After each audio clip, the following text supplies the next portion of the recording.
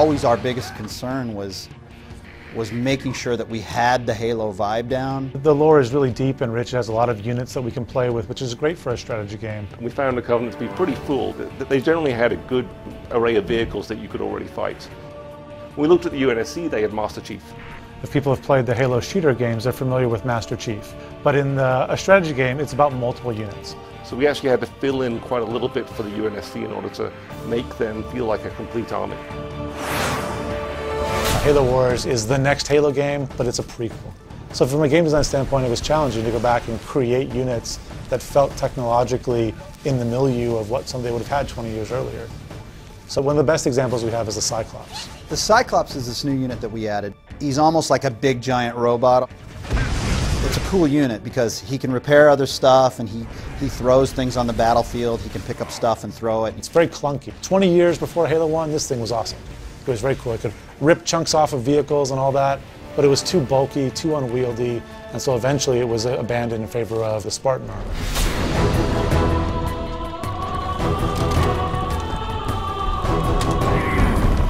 Let's go. There's a definite feeling when the Spartans show up for the first time in the campaign. We're like, wow, this is when Spartans were Spartans and not just Master Chief. If you're familiar with the lore, you know that back 20 years uh, before the start of Halo 1, there were lots of Spartans running around. You hear stories about why Spartans are cool and how there used to be more, but he's really like this relic of awesomeness. It'd be like if Batman was here now and you heard stories about there used to be 20 Batmans and that was when they could really kick ass. So we get a chance to finally let you play with multiple Spartans. They're great in combat, they can steal enemy vehicles, they can get inside my vehicles and make my vehicles better. We call them the, the Kingmaker unit. Most of the units in Halo Wars have a, a, special ability. It works the same for everybody. You just select them, you hit Y. Pretty sure everybody's going to be real excited about the Warthog Y ability, which is ramming into piles of grunts with a Warthog. It's about as good as it gets. One of the new units we've added that I think is pretty kick-ass is the Locust on the on the Covenant side. It's a, basically a building killer. It's almost like a, a, smaller version of a scarab. You know, when that comes and there's four of them on your base, you kind of freak out because, you know, they can take buildings down pretty quick.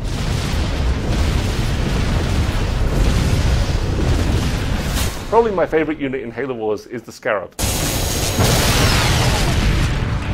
I mean, it's just such an evil device that the Covenant use. I mean, it's got a big laser beam that fires out, and as it destroys infantry, they scream and burn to death, and it truly feels evil to use it. They're hard to get to, but once you get them, they're really unbelievably strong. They can take out entire armies and stuff like that. There is nothing better than shooting a large laser beam at the uh, infantry and hearing them scream and die.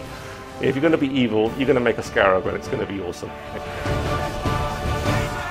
Those things are just made for killing. From the UNSC aspect, you have these god powers that appear to come from the Spirit of Fire, which is hovering above the whole time, and you can you can call on its help whenever you have the resources to do it. Like a carpet bombing run, or uh, use the Mac cannon to actually blast an area from space. The cryo bomb is another UNSC option that actually freezes units for just a little bit. And you know, it perhaps gives you a chance to take out something very big like a scarab. Gameplay-wise, that's really cool because the carpet bomb is kind of like a big old grenade. It does damage to everything. The Mac Blast is kind of like a little sniper shot. Both sides actually use different ways of turning the tide of a battle. The humans can call upon Spirit of Fire. The Covenant, though, actually have their hero units on the ground. They're actually the individually the best units in the game. The Covenant are led by these charismatic guys, these religious zealots. Blasphemy! They have the Prophet of Regret, um, the Brute Chieftain, or the Arbiter. The Prophet of Regret can call down this cleansing beam, which is actually what the Covenant armies used to glass planets into oblivion. You can chase that pesky little Spartan around the map with this, this beam of destruction. Fully upgraded Arbiter has a power called Rage. I'll tear them apart. He can take out an entire UNSC army just by himself. If you talk to anyone technical about an RTS game, they will tell you all about rock, paper, scissors. Vehicles beat infantry, infantry beat aircraft, and aircraft beat vehicles. But as soon as you start seeing rock, paper, scissors, all you're seeing in the game is the Matrix. You might as well just have numbers on the screen. One of the things we worked incredibly hard on was making the units in Halo Wars just super cool. We want it to be something that we love. Make a robust strategy game, which we know how to do, but we also have to make something that feels very much like it's in the fiction of, of what Halo fans would expect.